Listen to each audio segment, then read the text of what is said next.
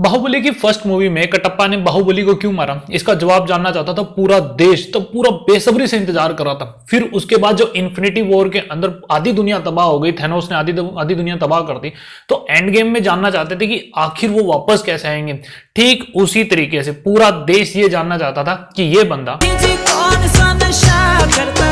काफ़ी सारे लोगों ने प्रयत्न किए इस सवाल का जवाब खोजने में और कुछ विद्वानों ने जवाब भी दिए। जैसे एक इंसान लिखते हैं तो वे एक फ़ोटो के माध्यम से हमें बताते हैं कि नीचे एक ताऊ जी हमें कह रहे हैं कि, बेबी ओनली बीड़ी पीता हूँ। एक और विद्वान व्यक्ति अपने विचार प्रकट करते हुए हमारे सामने नज़र आते हैं। बट किसी ने भी सही रंग से मतलब हमने, हमें आंसर नहीं दिया कि हम उसे मतलब सेटिस्फाई हो पाए कि हाँ यार, ये सही कह रहा है, ये इंसान। लेकिन अब इंतज़ार खत्म हुआ। अब खुद हार्डी संधु मतलब ऐसा और कोई नहीं, खुद हार्डी संधु इस सवाल का जवाब देने आए हैं।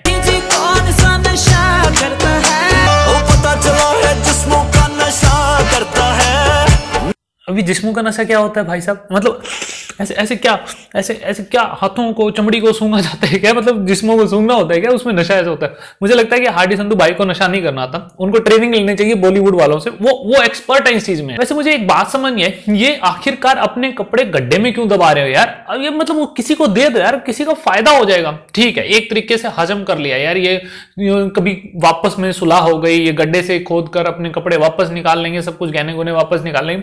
ठीक है, लेकिन इसका क्या तुक बनता है? यार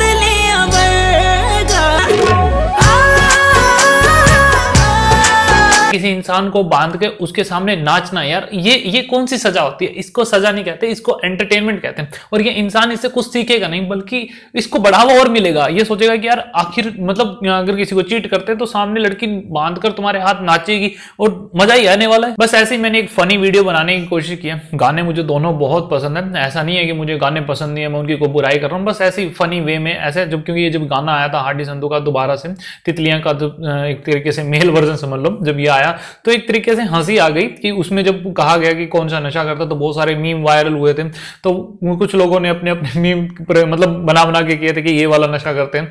तो यहाँ पर हार्डी संधु जब जवाब देते हैं तो मुझे लगा कि हाँ कुछ ना कुछ इंटरेस्टिंग किया जाए। तो थोड़ा सा तूफानी करने की कोशिश किया। तूफानी तो नहीं, थोड़ी बहुत आंधी चला दी, आंधी भी नहीं चलाई, थोड़ी बहुत हवा तो चलाई दी होगी।